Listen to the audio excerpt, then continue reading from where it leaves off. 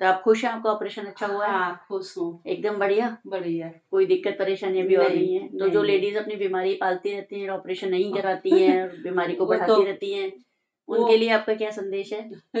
कराना चाहिए। कराना अब। अपनों को कराओ बट ठीक हो जाओ। हाँ बीमारी का इलाज हाँ, कराने से। कराने से अच्छी होगा।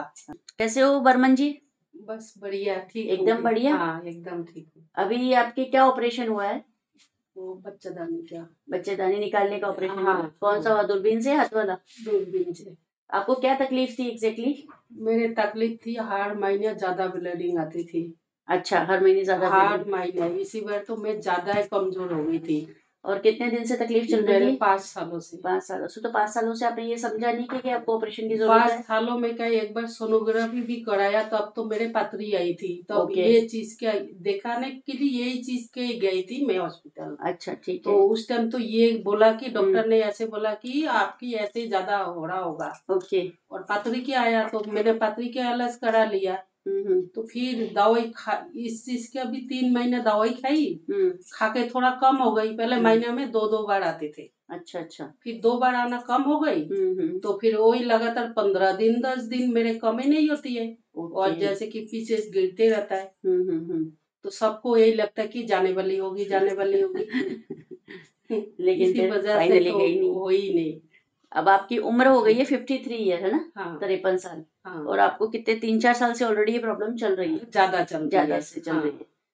अब कई लोगों को ये रहता है मिथ रहता है हाँ। जैसे आप कह रहे हो कि भाई जाने वाली होगी खत्म हो लेकिन गई। खत्म हो गई लेकिन हो नहीं रही है। नहीं। तो इससे एक बात तो ये समझ में आती है कि जब बीमारी होती है तो हाँ। महीना भी नहीं जाता है। एक्चुअली में तो। मेनोपॉज भी नहीं अचीव होता है।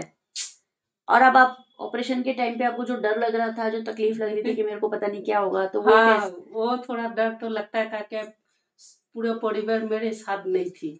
लेकिन ऑपरेशन के बाद आपको ऐसा कुछ लगा कि ऑपरेशन के दौरान आपको तकलीफ़ हुई? नहीं हुई मैं तो सही हूँ ठीक हूँ एकदम। अब ऑपरेशन कराए आपको आठ दिन हो गए? आठ दिन हो गए। अभी आठ दिन में आपने अपना सारा काम कर पाए अपना नॉर्मल हाँ, नॉर्मल तो कर रही हूँ इसलिए जिसकी घर में रहती हूँ वो भाभी मना कर रहा है अभी कहीं आराम कर ले काम तो तू करते रहती है ज़िंदगी भर। तो अभी कोई हाँ। तकलीफ़ हो रही है आपको ऐसा अभी तो ऐसा कुछ ऑपरेशन के बाद आपको ऐसा लग रहा है कि आपको जैसे उठने बैठने की तकलीफ़ हो रही है दर्द हो ऐसा है कुछ नहीं है दर्द तो हल्का सा रहता ही है हम्म, हम्म। वो तो रहेगा ही जब हम्म। तक ठीक ना होए और बाकी हाँ। ऐसा कोई दिक्कत नहीं। ऐसा कुछ दिक्कत नहीं है। उठने बैठने की शिकायत कोई नहीं, दिक्कत? नहीं नहीं। और कोई प्रॉब्लम किसी प्रकार नहीं।, नहीं। तो आप खुश हैं? आपका ऑपरेशन अच्छा हुआ है? हाँ खुश हूँ। एकदम बढ़िया? बढ़िया। कोई दिक्कत परेशानी अभी और नहीं, है? तो जो लेडीज़ अपनी बीमारी पालती रहती है ऑपरेशन नहीं कराती है बीमारी को बढ़ाती तो- रहती है उनके लिए आपका क्या संदेश है?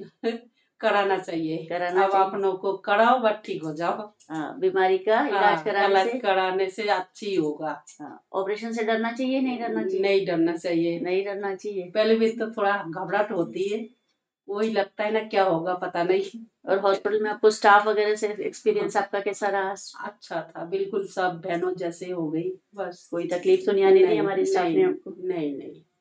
रूम स्टे वगैरह के दौरान कोई तकलीफ़ रही नहीं? हुई कुछ भी तकलीफ़ नहीं नहीं सारा आराम से हाँ, आराम से। तो आप कोई मैसेज देना चाहेंगे हॉस्पिटल के लिए? क्या मैसेज दूँगा अच्छा है बढ़िया एकदम। ठीक है ठीक है वर्मन जी धन्यवाद ठीक है ओके